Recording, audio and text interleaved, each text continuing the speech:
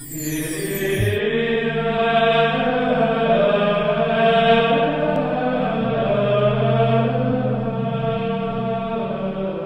el nombre del Padre, y del Hijo, y del Espíritu Santo, el Señor esté con vosotros.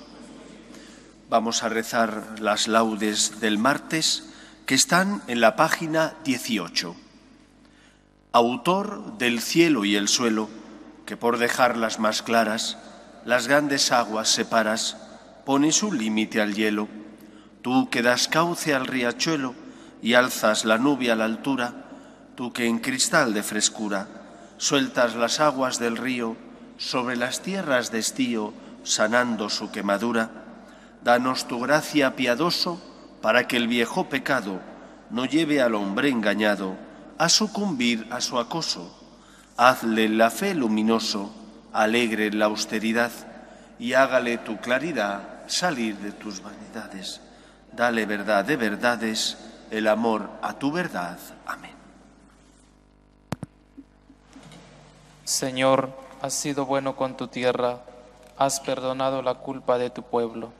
Señor, has sido bueno con tu tierra, has restaurado la suerte de Jacob, has perdonado la culpa de tu pueblo, has sepultado todos sus pecados, has reprimido tu cólera, has frenado el incendio de tu ira. Restauranos, Dios Salvador nuestro, cesa en tu rencor contra nosotros.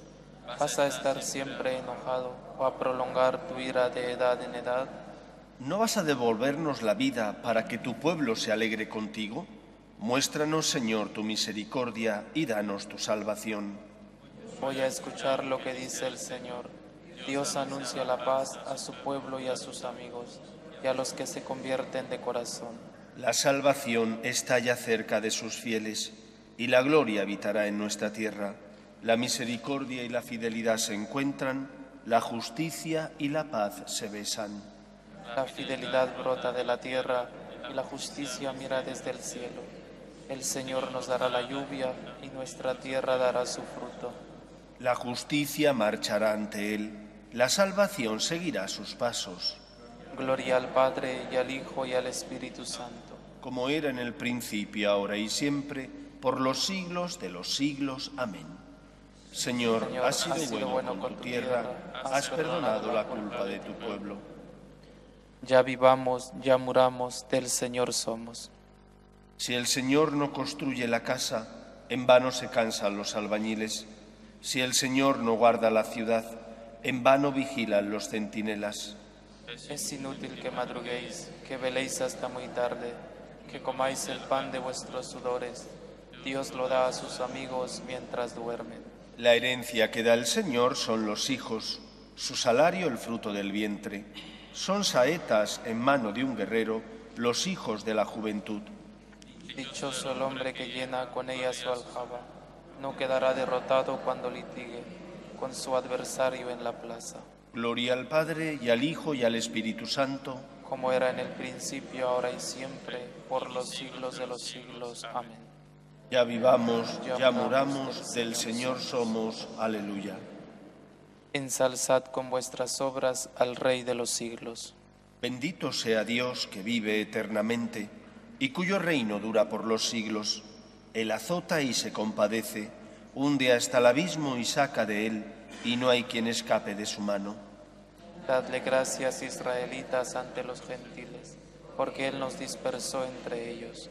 Proclamad allí su grandeza, ensalzadlo ante todos los vivientes, que Él es nuestro Dios y Señor, nuestro Padre por todos los siglos. Él nos azota por nuestros delitos, pero se compadecerá de nuevo y os congregará de entre todas las naciones por donde estáis dispersados. Si volvéis a Él de todo corazón y con toda el alma, siendo sinceros con Él, Él volverá a vosotros y no os ocultará su rostro. Veréis lo que hará con vosotros, le daréis gracias a boca llena, bendeciréis al Señor de la justicia y ensalzaréis al Rey de los siglos. Yo le doy gracias en mi cautiverio, anuncio su grandeza y su poder a un pueblo pecador. Convertíos, pecadores, orad rectamente en su presencia. Quizás os mostrará benevolencia y tendrá compasión. Ensalzaré a mi Dios, al Rey del cielo, y me alegraré de su grandeza. Anuncien todos los pueblos sus maravillas, y alábenle sus elegidos en Jerusalén. Gloria al Padre, y al Hijo, y al Espíritu Santo. Como era en el principio, ahora y siempre, por los siglos de los siglos. Amén. Ensalzad con vuestras obras al Rey de los siglos. Oremos. Señor de poder y de misericordia, que has querido hacer digno y agradable por favor tuyo el servicio de tus fieles, concédenos caminar sin tropiezos hacia los bienes que nos prometes. Por Jesucristo nuestro Señor.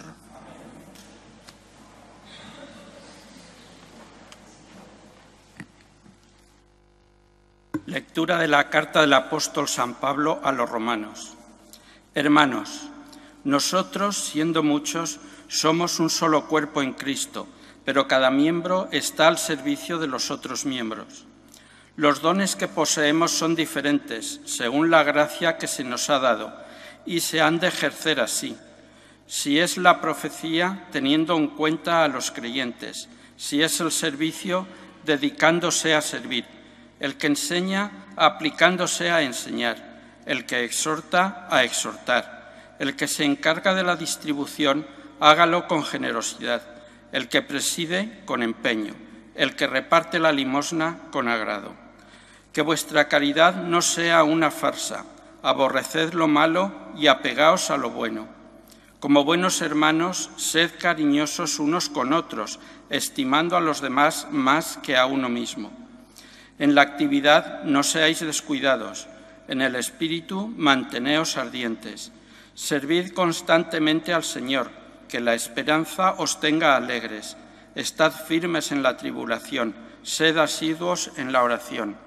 Contribuid en las necesidades de los santos, practicad la hospitalidad, bendecid a los que os persiguen, bendecid, sí, no maldigáis.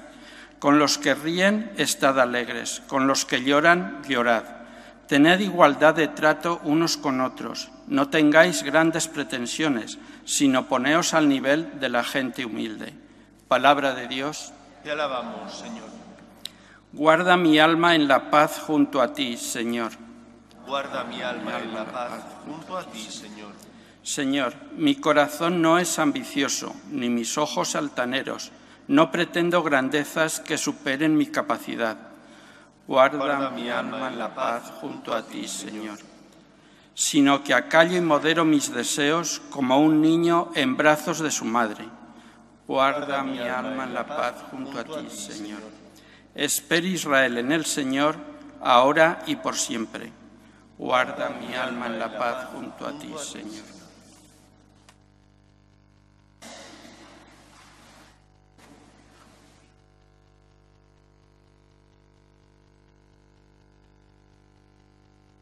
El Señor esté con vosotros.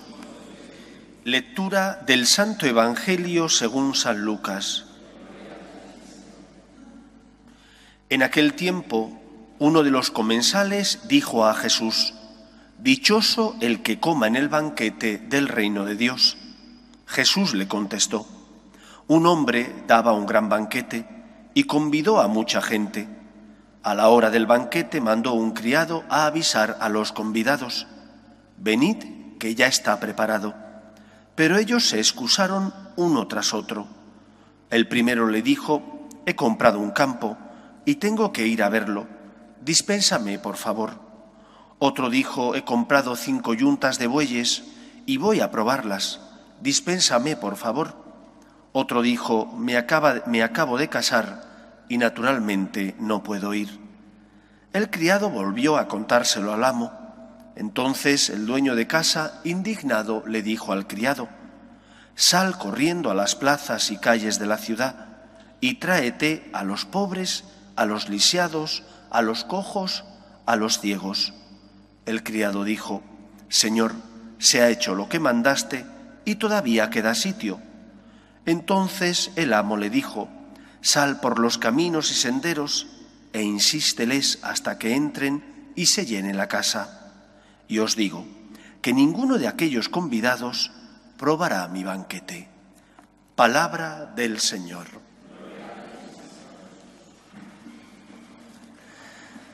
Jesús compara el reino de los cielos con un banquete. Para nosotros el banquete suele ser simplemente un acto por el que saciamos nuestra hambre. Pero para un semita, para un oriental, invitar a comer, abrir las puertas de tu casa, era abrir también las puertas de tu corazón. Ellos tienen a gala ser muy hospitalarios y ser un ser pueblos acogedores. Esto es lo que tiene Jesús en mente cuando, al hablar del reino de los cielos, pone como ejemplo a ese Señor que invita a unos convidados al banquete. Dios quiere compartir contigo. Por eso resulta, cuando menos doloroso, que nosotros sigamos teniendo una visión únicamente funcional de nuestra relación con Dios. ¿Quién es Dios? Aquel al que voy a pedir, aquel al que voy cuando estoy necesitado, aquel al que recurro bien porque tengo el alma cargada de pecados y por lo tanto necesito descargar mi conciencia, o porque tengo que pedir alguna cosa porque estoy necesitado o alguno de los míos lo está. Pero si no tengo nada que pedir, si mi alma está en paz y tranquila, entonces no tengo por qué recurrir a Dios. Dios tiene otra pretensión distinta. Su pretensión es la de tener contigo una relación de amor, una relación paternal de aquel que te adopta como hijo porque te quiere y te ama, porque quiere compartir contigo su vida divina, es decir, quiere compartir contigo su felicidad, su amor, todo aquello que te va a hacer sentir y experimentar que eres la persona más afortunada del mundo.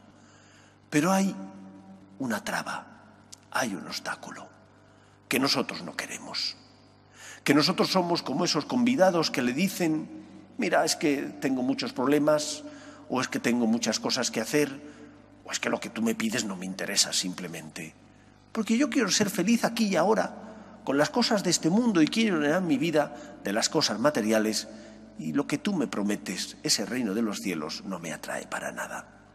Más pronto, más tarde, la realidad se impone y experimentamos que si hemos llenado nuestra vida de aquello que fue creado para nuestro servicio, pero no para que fuéramos o le rindiéramos culto a eso, porque en muchos casos nos hemos convertido en idólatras de las cosas materiales, más pronto más tarde te das cuenta de que tu vida está hueca. Hueca, vacía, porque has llenado tu vida de cosas importantes, pero que eran para tu servicio y no para tu esclavitud. Solo Dios es el que puede llenar nuestro corazón de lo que necesitamos, de su amor, de su esperanza y de su alegría. Hemos sido convidados a ese encuentro personal con Él. Abrámosle el corazón, entablemos ese diálogo que el Señor quiere entablar con nosotros para que podamos tener vida y la tengamos abundante. Y cuando uno experimenta ese amor, esa felicidad, esa esperanza que Dios da, entonces su vida es testimonio de esperanza en medio del mundo, no porque seamos perfectos, no porque no caigamos, sino porque damos el testimonio ante el mundo de que nos sentimos salvados, queridos y amados de una forma única y especial, que es la forma de amar que Dios tiene. Que nuestro testimonio ante el mundo sea el de personas agradecidas, el de personas que se sienten especialmente privilegiadas porque han sentido y experimentado el amor de Dios. Que el Señor nos bendiga. Nos ponemos en pie. Oremos a Dios nuestro Padre. Pedimos por la Iglesia para que sea siempre sal de la tierra y luz del mundo, roguemos al Señor. Pedimos también por los que sufren, por los parados, enfermos, familias rotas, las víctimas del aborto, roguemos al Señor. Pedimos también por la paz en el mundo, para que cese todo germen de violencia. Pedimos por nuestro país para que se mantenga unido, roguemos al Señor. Pedimos también por todos aquellos que no tienen fe y se han encomendado a nuestras oraciones, a nuestras súplicas, roguemos al Señor. Y pedimos por todos nosotros, para que el amor sea amado, para que correspondamos al Señor abriéndoles, abriéndole nuestro corazón, roguemos al Señor. Escucha, Padre, las súplicas de tus hijos, que nos dirigimos a ti confiando en tu amor. Te lo pedimos por Jesucristo nuestro Señor.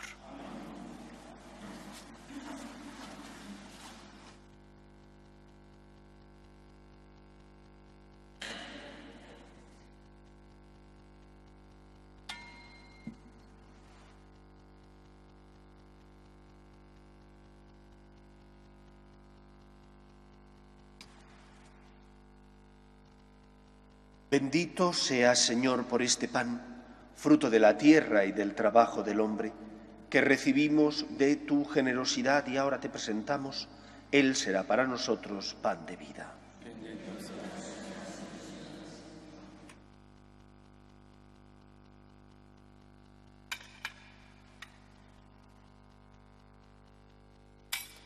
Bendito seas, Señor, por este vino, fruto de la vida y del trabajo del hombre que recibimos de tu generosidad y ahora te presentamos, Él será para nosotros bebida de salvación.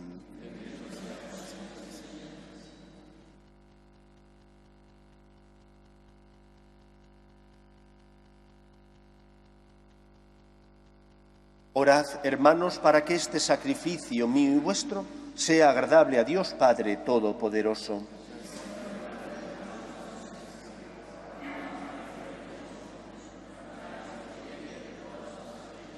Que este sacrificio, Señor, sea para ti una ofrenda pura y para nosotros una efusión santa de tu misericordia. Por Jesucristo nuestro Señor. El Señor esté con vosotros. Levantemos el corazón. Demos gracias al Señor nuestro Dios. En verdad es justo y necesario.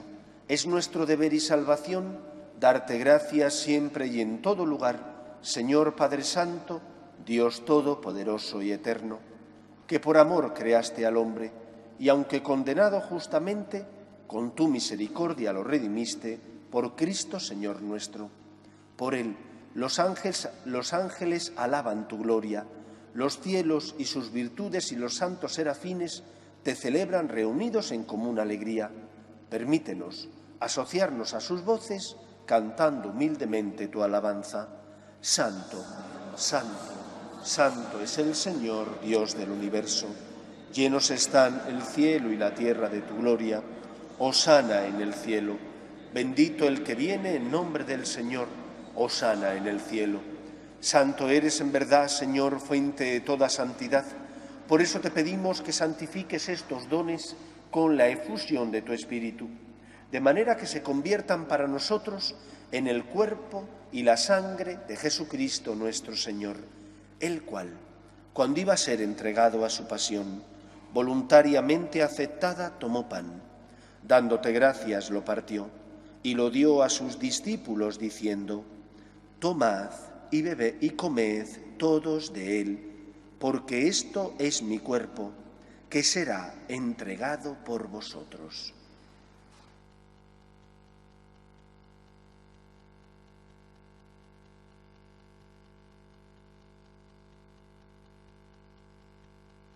Del mismo modo, acabada la cena, tomó el cáliz y dándote gracias de nuevo, lo pasó a sus discípulos diciendo, Tomad y bebed todos de él, porque este es el cáliz de mi sangre, sangre de la alianza nueva y eterna, que será derramada por vosotros y por muchos para el perdón de los pecados.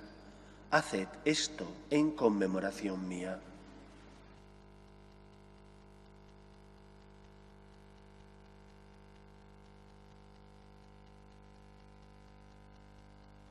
Este es el sacramento de nuestra fe.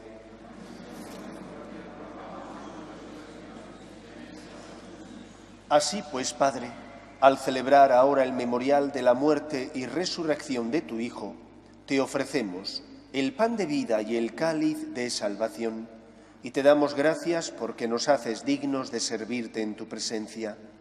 Te pedimos humildemente que el Espíritu Santo congregue en la unidad a cuantos participamos del cuerpo y sangre de Cristo.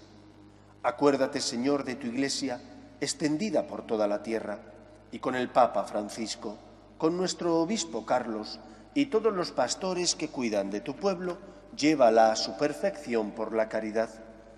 Acuerde también de nuestros hermanos que durmieron en la esperanza de la resurrección, de Soledad y de Joaquín, y de todos los que han muerto en tu misericordia, admítelos a contemplar la luz de tu rostro.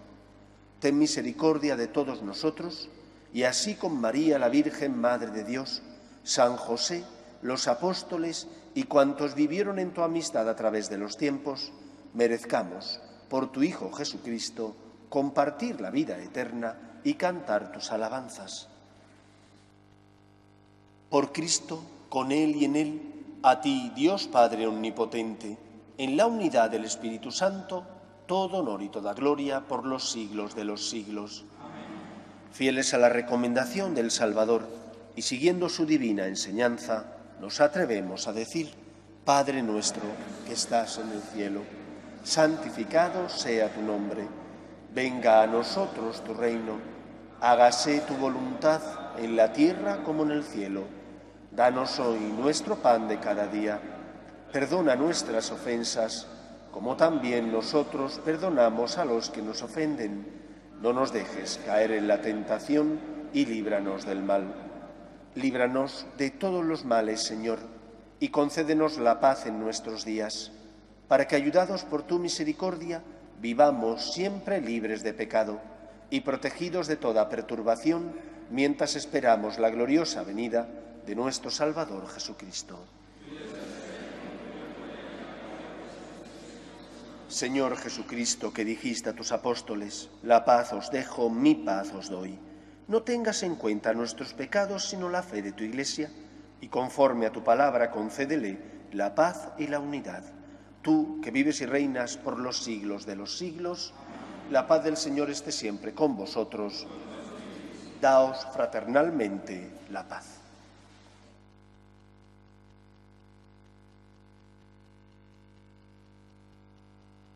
Cordero de Dios que quitas el pecado del mundo.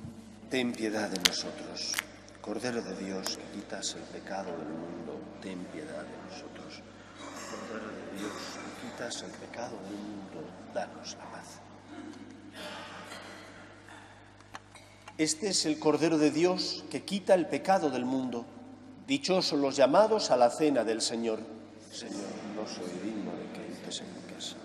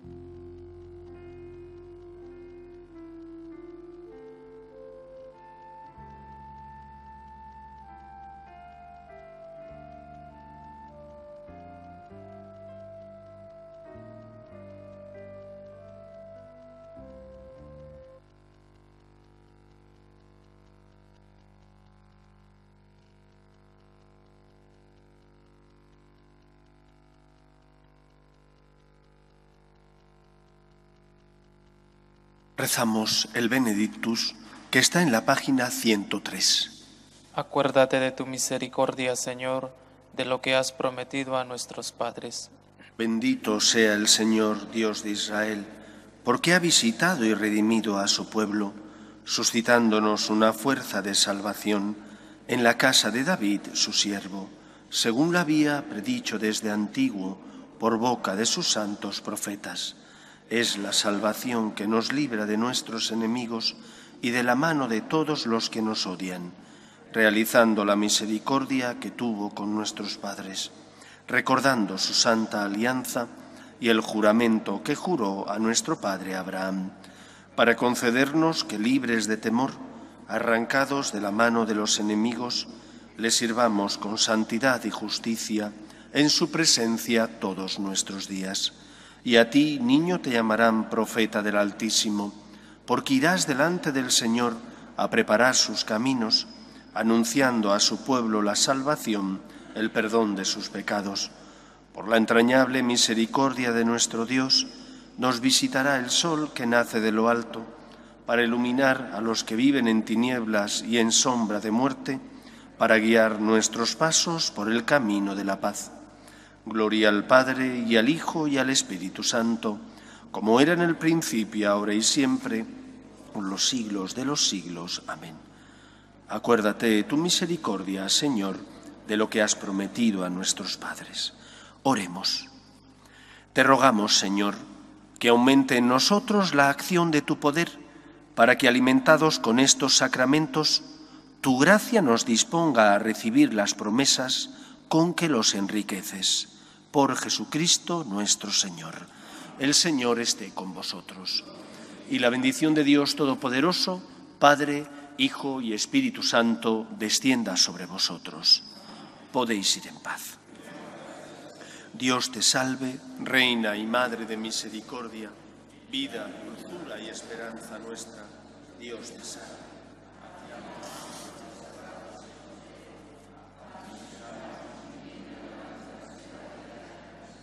Ea pues, Señora, nuestra, vuelve a nosotros esos tus ojos misericordiosos y después de este destierro, muéstranos a Jesús, fruto bendito de tu vientre. Oh clementísima, oh piadosa, oh dulce y siempre Virgen María, ruega por nosotros, Santa Madre de Dios, para que seamos dignos de alcanzar las promesas